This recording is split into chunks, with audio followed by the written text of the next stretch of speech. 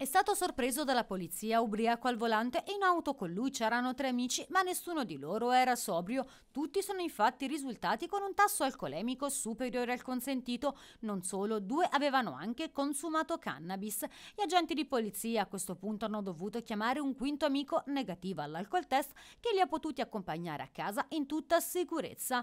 Così la serata per quattro giovani, tutti con meno di 25 anni, due dei quali neopatentati, è finita con altrettante patenti ritirate. Questo è uno degli episodi che si sono trovati di fronte agli agenti lo scorso fine settimana durante un servizio notturno volto a contrastare il fenomeno delle cosiddette stragi del sabato sera causate da chi guida in stato di ebbrezza alcolica o alterato dall'uso di sostanze stupefacenti. Numerose le pattuglie della stradale scese in campo che si sono avvalse della collaborazione del medico e del personale sanitario in servizio presso la questura, così da poter verificare direttamente su strada utilizzando utilizzando tamponi salivari anche l'eventuale consumo di droga.